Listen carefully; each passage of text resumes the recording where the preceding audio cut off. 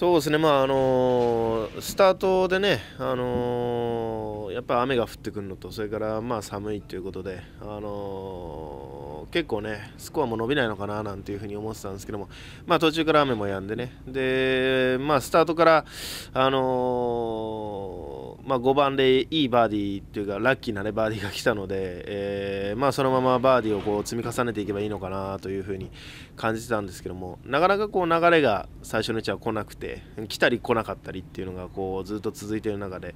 まあ、バーディーが入らない悪い流れの時にこういいバーディーが入ってくれて、まあ、それがずっと続いて、まあ、最終的には15、16、17と3連続バーディーも取れましたし、あのー、まあ、非常にこう落ち着いていいプレーが今日はできたんじゃないかなと思います。